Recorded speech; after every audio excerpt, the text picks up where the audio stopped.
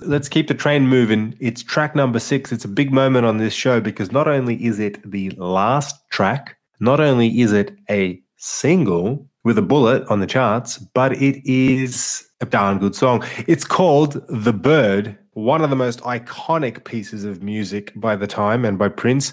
But do we like it? That's the question. All right, player, what do you think? Well, most I guess the most noticeable thing about this song is it's the live version.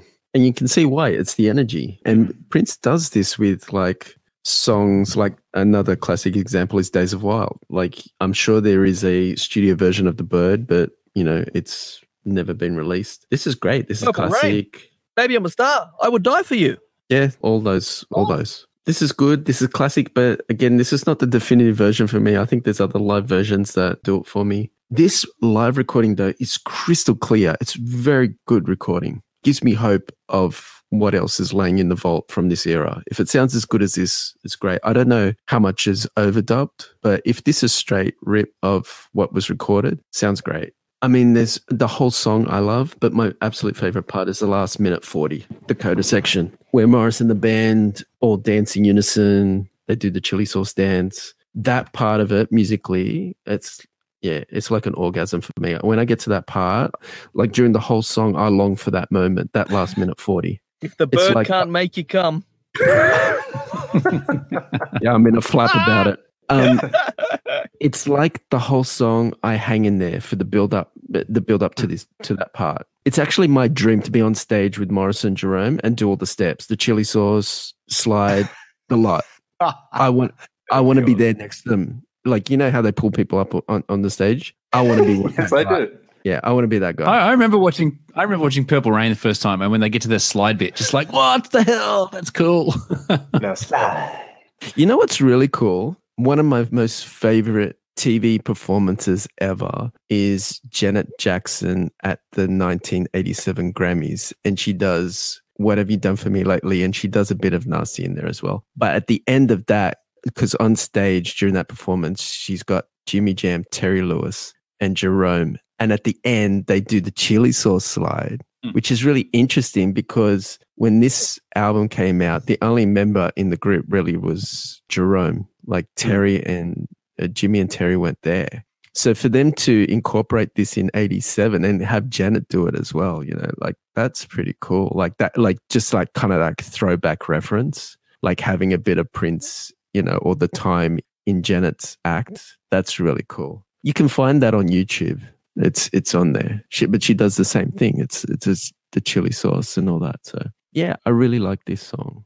I think the Jungle Love and the Bird are the most two most well-known time songs and obviously that's because they're the only two songs in purple rain as well so everyone seems to know these two songs but in having said that they're the stronger material especially on this album and i'll reiterate that more in my outro final thoughts part but this is a great song Plus, they obviously they were big because they were in the movie, but they were also in Jay and Silent Bob, correct which is probably where a whole bunch of new young people saw the time and heard these songs. That's right. The new generation. Yeah. I think it's uh, Silent Bob. I think he roughs up those kids out the front of the convenience store when they sort of slag on Purple Rain or whatever. Mm. So, like, you know, he jumps in there, like, you know, how dare you say something like about that, about the time or whatever, you know? And by the end of the movie, they kind of show you why, like, you know, this is Yeah. this is why they're so good, kind of. Well, the great thing about, and I agree with basically everything Player said, the greatest thing about this song for me on this album is that it is the live version because you've got Morris, you've got Jesse, you've got Jellybean on the drums, you've got, I believe, St. Paul Peterson on keyboards here. And then you got Prince doing overdubs in the studio or whatever. But this song has got that energy that the rest of the album's missing. As much as I love Jungle Love, You're thi- right. This song has more vitality to it, and it's because it's live. Great. Why not release Jungle Love live version? Why not just release a bloody live version of a concert by the time and make all our dreams come true? Because back then there was such a smoking band. But you know, what can I say about this song that, that you guys won't? Probably not a whole lot. I'll just move through my points real quick. Classic lines, classic melody. Three quarters of the way through, there's this instrumental jam part. That's really cool. But all I really have to say about this, without going into too many specifics, is this may be one of the most fun, relaxed, happy party vibe, feel good songs of his and of the times that's ever come out. I mean, Morris plays his part here big time. You know, we've made a few interesting remarks about Morris's vocals and involvement and stuff, but here he is in his element. Like there is no one else that could pull this song off. I think even Prince, uh, you know, he do a good job, but Morris is the guy, right? And Jesse Johnson deserves his fair share of credit because I believe very early on he had something to do with the basic tracks or idea around the hook. Um, yeah, I think it's Jesse's song because I saw an interview with Jesse that I think Prince warned the time before they went out on stage. He said to them, "Don't do that bird song."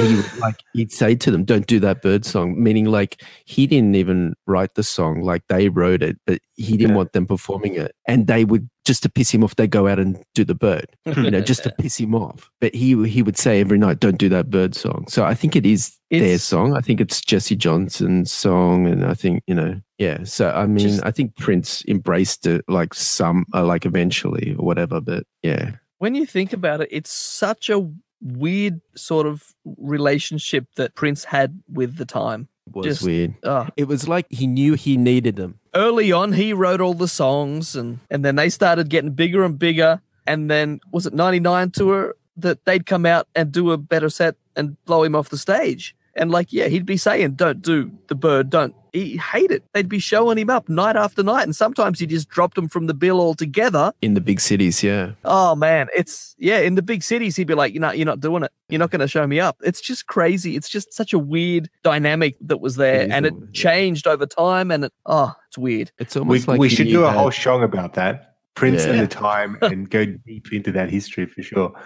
But yeah, for me, look, this song is it's genius. It's it's legitimately one of the best purple jams, one of the best Prince songs, let's call it one of the best time songs, really. And doing a little bit of research for the track, I noticed that really he didn't play this very often. They didn't play this very often. I think they start, you know, they did a couple of appearances in 85 playing this track. And then occasionally Prince would perform a couple of short versions of The Bird and Jungle Love over the years. But I just found it really interesting that between 2008 at Coachella and the year 2014, when he finally released his 2014 uh, masterpiece, in my opinion, Art Official Age, he played this song live every single year between 2008 and 2014. It's just really interesting. It's staggering to me. Seven years in a row that he decided to bring it back, and he would he wouldn't let up. He would just play and play and play and play and play. So he obviously understood how amazing these songs were, and for the fans, how important they are, and and how much we enjoyed. Like anytime the bird comes on, there is not a single person in the place who does not have a smile on his or her face. I don't care who you are. It's just one of those tracks. It just makes you feel good. So with that, I'm going to hand it over to Toe Jam. I agree. I think this is definitely tied with Jungle Love as the best song on the album. And again, we are saying they're the most well known songs, but it's not only because they're in the Purple Rain album, it's because they're just killer songs. And like I said with Jungle Love, you know, you watch the movie, you see Let's Go Crazy, and then suddenly Jungle Love, and like, damn, that's funky too. You know, the whole idea of the Purple Rain movie is they're leading up to this final performance. And, you know, the time come out and play the bird. I mean, I'm sorry, but as much as I love Purple Rain, like, I think the time won that battle that night. I mean, that in the movie when they're doing the bird, it, it just rocks. You know, the crowd's going nuts. Morris is singing lines like "Let your body get loose; it ain't too fat to fly," and they cut to this, you know, big girl just flapping her arms. Like the dance, like the dance itself, it's just let's just come up with this dumb, silly, fun dance. Just throw your arms in the air and just pretend you're a bird. Like it's just hilarious, but it's so But much it's like- fun. It's like It's it's like a throwback to the James Brown dances, you know, Yeah. camel walk and all that sort of stuff. It's Yeah. this, you know, it's just like his twist on it, kind of thing. Yeah, uh, but but it's very much just like down to earth. You know, it, there's no pretense about it. It's let's have fun. Let let's dance this silly little dance. It's almost like the chicken dance. You know, people love it because it's just so absurd. But I mean, the synths in this just rock. So many crazy synths. Minneapolis, Minneapolis, Minneapolis. Yeah, Uh, dun, dun, dun, dun, dun, ba, dun, dun, dun, dun, dun, dun, dun. I mean, that you just that's straight out of of Minneapolis. That stuff. All that stuff. Um, you know what it reminds me of? It reminds me of the end of Gonna Be a Beautiful Night. It's all that stuff. Ah, uh, yeah. It's all that stuff. Yeah, same sort of stuff. Yeah. All those like little, just tiny little intricate bits. Yeah. That he can just call out and they just play it. I mean, even just that little line, just it's just like what the it's it's like a little bird call, like a little Tweety bird.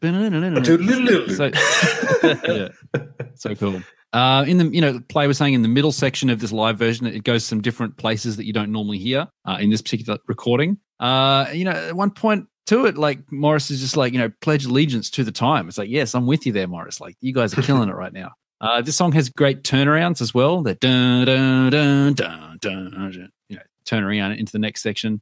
It just pumps all the way through. Classic again, classic '80s, classic Purple Rain era. I mean, this is in the mix of all of those Purple Rain songs. Is you know the, the cream of the crop. This one, so uh, the bird, it kicks ass. The funny thing with that, I pledge allegiance to the time, is in I think the previous track. Yes, the girl says I pledge allegiance says- something as well, and then I'm sure there's a, a Prince track as well with something similar from early 80s, and I can't think what it is. There's a few like political references in the early 80s from Prince. Mm, I'll think of it one Well, day. Captain, it's your go. Round out a review of this song with your thoughts. Ah, Jellybean Johnson on the drums. The, the yeah. interesting thing with this, because it's the live version, is this is probably the only track on the album which has zero input from Prince on the album. Well, he's got over. He's Un- got overdubs. Unless there's overdubs, which there probably yeah. is, because it sounds so damn good. But as the live version, I think it would have been hard for him to ditch the studio version, which exists, existed, and he went for the live version, even though it had nothing to do with him. That's a bit of ego dropping right there. That he's like, no, I know the studio version's funky as anything, but this live version's better. So that was interesting that they decided to put it on there. And oh, I've said it before, but this on this album, I'll say it again. This is such a funky track. Just listen to it. What else can you say? Just go and listen to it right now. That's all you got to do. The synths, Jam said, the synths is just fat synths everywhere. Uh, it's just so damn good. There must be there's at least three different synth parts going on at any time. It's crazy. But that that's what makes me wonder that there's overdubs on it. There's got to be because there's there wasn't that many people on stage. There wasn't uh, anyway. You got Monte Moir got, was and Monte uh, there? Well, I don't know for the actual recording, but like you know, generally speaking, the time always have two keyboard players and they're playing two keyboards each, basically. Two keyboards at the same time, yeah, hmm. yeah, it could be. But this just this song, it's another one that just boggles your mind the quality of songs he was giving to other people. If this was in fact his song, which we're talking about, but true, it's to his own protege people, but still, it's just crazy how good these songs are. 301, super funky guitar part, uh, some more synths come in. That's really good. The best part, 340. The Wright brothers can't fuck with that. Bring me my hat. It's so good. I don't even know what to say. The bass, the guitar, the synths, it's just all good. 410, they start in with those four chords. I'm sure Toe Jam knows what they are. The third one is just discordant as hell, and it just it's so good. It just fits. 510, more super funk on a stick. And then, like uh, player said, like the last like minute, minute and a half, the outro is just mental from about six minutes. Holy hell, just blow your head yeah. off. It's just great. While that's all happening, you got these crazy synths, and then suddenly there's this stop, and Morris comes to the mic, and you think he's going to sing some line, he just goes squat, and it just keeps going. It's cool. yeah. Oh, I, I can't say anymore. Just go and listen to it. That's all you got to do. Do the dance.